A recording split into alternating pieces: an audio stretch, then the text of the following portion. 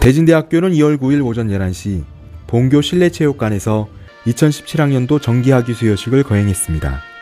이날 박사 12명, 석사 92명, 학사 1,303명에게 학위가 수여되었습니다.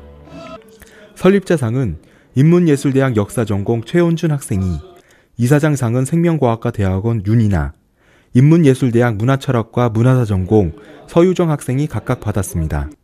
그 외에도 총장상, 대학 원장상, 학장상 등 총 67명의 학생이 상을 받았습니다. 축사에서 윤은도 이사장은 기회란 주어지기보다 만들어가는 것이라며 자신의 능력에 대한 자신감과 큰 포부를 갖고 스스로가 원하는 삶을 만들어가면 목표를 달성할 수 있다고 학생들을 격려했습니다. 이면재 총장은 인생을 잘 살아온 사람에게는 공통점이 있다며 소박한 꿈이라도 뜻을 세우고 현실의 내 모습을 약진의 발판으로 삼아 실천할 수 있기를 바란다고 당부했습니다.